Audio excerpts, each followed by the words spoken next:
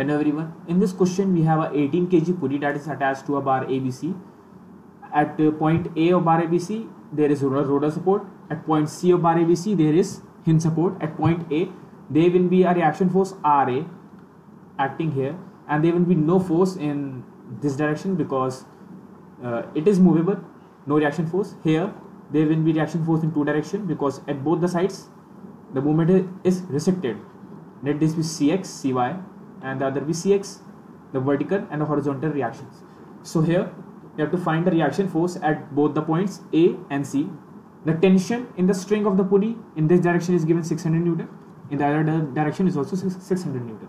And on the distance are given in centimeters so if we consider the movement about point c this will be equal to 0 we equate on the movement about point c.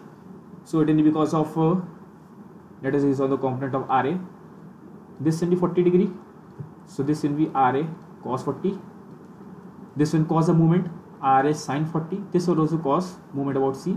The weight of the pulley will cause uh, the movement and the new and uh, tension in the strings in both the directions will cause the movement. So let us equate all the movements. So ra cos 40 uh, we are assuming here clockwise movement to be positive. So ra cos 40 causing the clockwise movement and it is perpendicular distance will be 2 into 240 upon 1000 for uh, conversion in meter. Plus ra sine 40 again clockwise so we will take it positive here this time. Uh, 96 perpendicular distance as given in the figure 96 plus uh, negative minus the 600 newton tension acting downwards anti-clockwise.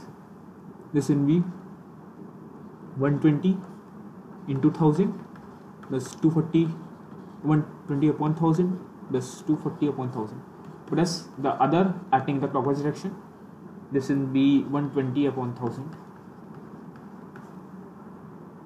minus the weight acting downwards 18 into 9.8 into 240 upon 1000 the perpendicular distance is 240 is equal to 0 so on equating it with 0 ra comes out to be 433.945 newton. Now since the system is in equi equilibrium forces acting upwards will be equal to forces acting downwards. So on the forces acting upwards are Ra cos 40, Ra cos 40 plus Cy acting at point C plus 600 Newton acting downwards, the tension plus the weight 80 into 9.81. So here the value of Cy comes out to be on further solving 444.158 Newton. Now further uh, we will equate on the horizontal forces in the system in the pulley bar system so cx will be equal to the horizontal forces r sine 40 and 600 newton tension acting towards the right hand side so this will be equal to 600 plus ra sine of 40 degree so cx comes out to be on equating it this comes out to be 878.9344 Newton. Now the total movement at point A is Ra that we have already calculated. This is one answer.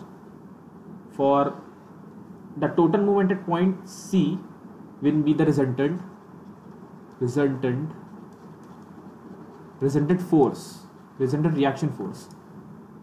This was the resultant reaction force at point A resultant force at C. This will be equal to that will be RC will be equal to under root cx square plus cy square. This will give under root uh, 878.9344 square plus 444.158 square so RC comes out to be 984.785 Newton. This was the force at point, uh, reaction force at point C. This was the final answer. Thank you.